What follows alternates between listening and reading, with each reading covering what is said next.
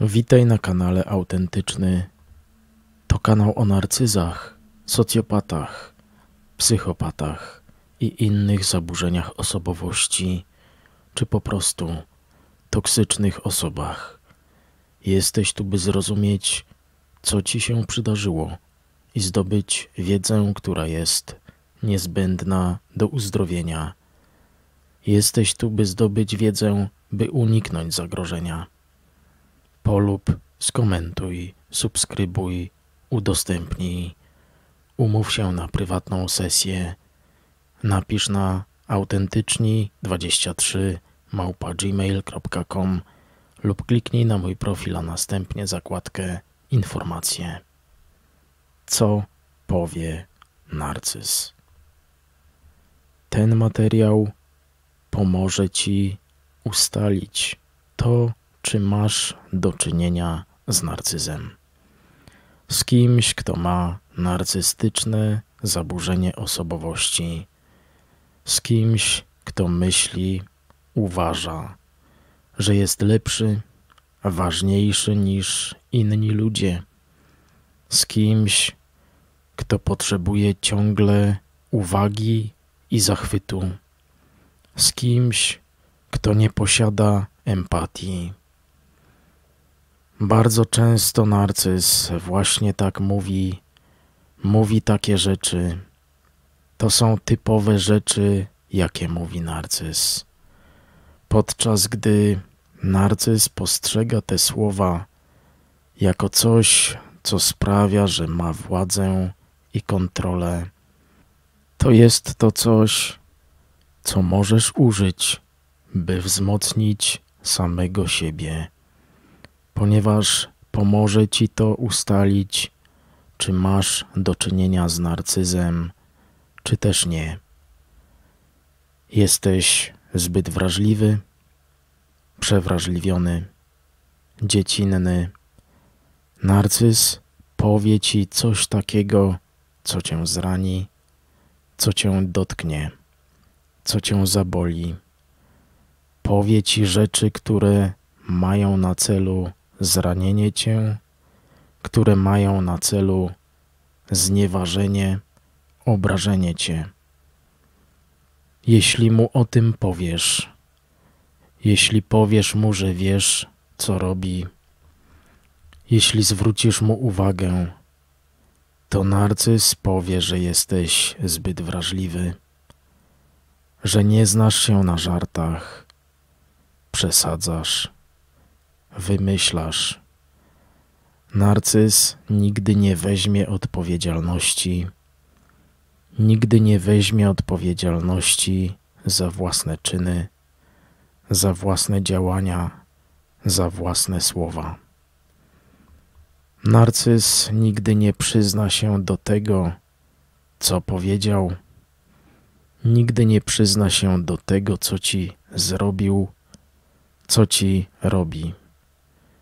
Zamiast tego wskaże palcem na ciebie.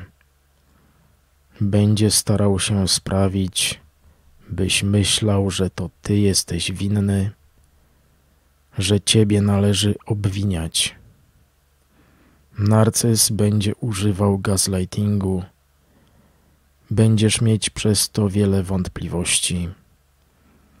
Będziesz poddawać w wątpliwość wszystko, co myślisz, wszystko, co sądzisz, zwątpisz we własną pamięć, we własną percepcję.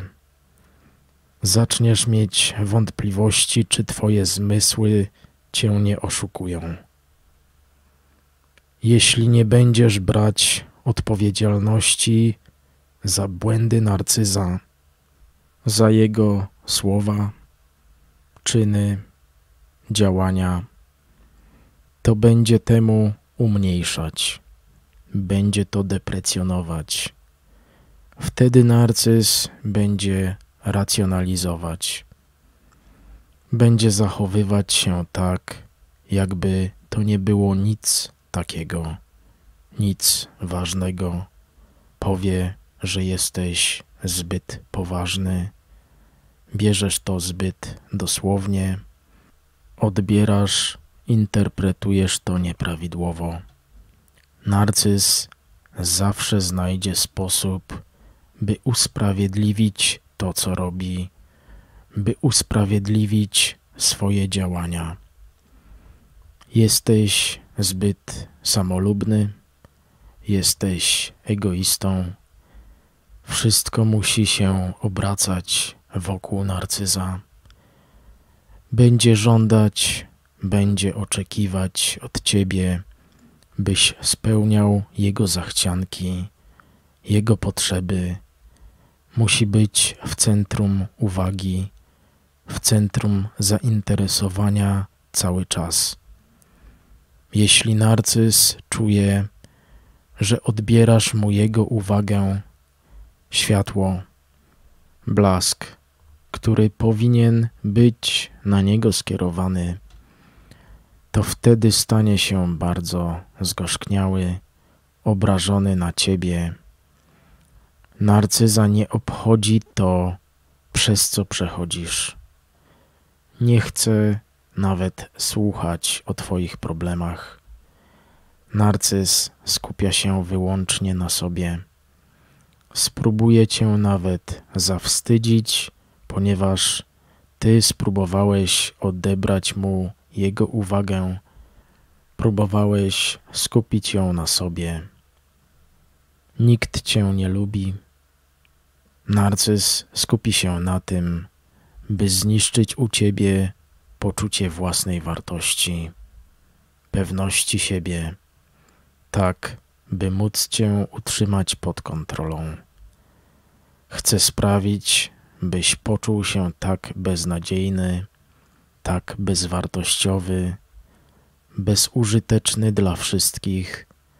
Chcę, byś czuł się tak, jakby nikt Cię nie wspierał, jakby nikt nie był po Twojej stronie. Chcę cię odseparować, odizolować od innych ludzi. Dzieje się tak, ponieważ wtedy mniej prawdopodobne jest to, że odejdziesz, że zostawisz narcyza. Będzie chciał sprawić, byś wątpił w samego siebie. Narcyz będzie chciał sprawić, byś poczuł się tak, jakbyś nie mógł na nikogo liczyć. Nie możesz niczego beze mnie zrobić. Narcyz chce sprawić, byś czuł się tak, jakbyś nie mógł niczego osiągnąć, niczego zrealizować bez niego. Chcę, byś myślał, że nie mógłbyś dojść bez niego do tego, co masz w życiu. Jeśli całe światło, cała uwaga skupiona jest na tobie, to narcyz odwróci ten reflektor na siebie. Pozbawi cię tego, przypisze sobie Twoje zasługi, Twoje dokonania, Twoje osiągnięcia. Narcyz ukradnie Twoje pomysły i poda się za autora. Powie, że wiele mu zawdzięczasz i powinieneś mu to zwrócić. Powinieneś się odwdzięczyć. Narcyz będzie ciągle przypominać ci, że jesteś nikim, że jesteś niczym bez niego. Nigdy nie znajdziesz nikogo lepszego ode mnie. Narcyz chce, żebyś myślał, że jest lepszy od wszystkich innych, lub też chce, żebyś myślał, że to z wszystkimi innymi jest coś nie tak, tak jakby sam był wyjątkowy, jakby miał takie zalety, cechy, które odróżniałyby go od reszty ludzi, jakby miał coś takiego, czego nie możesz znaleźć nigdzie indziej. Narcyz chce, żebyś myślał, że popełniłbyś wielki błąd, opuszczając go. Chce, żebyś myślał, że obniżył swoje oczekiwania, swoje standardy, będąc z Tobą. Tak, by wydawało się, że jest od Ciebie lepszy. Jest to kilka rzeczy, które powie narcyz. Czy słyszałeś kogoś, kto mówił tak do Ciebie? Jeśli tak, to podziel się tym w komentarzach. Polub, skomentuj, subskrybuj, udostępnij. Pomoże to innym ofiarom narcyza tutaj dotrzeć. Naszym wspólnym celem jest zwiększanie świadomości w społeczeństwie i pomoc ofiarom psychopatów. Dziękuję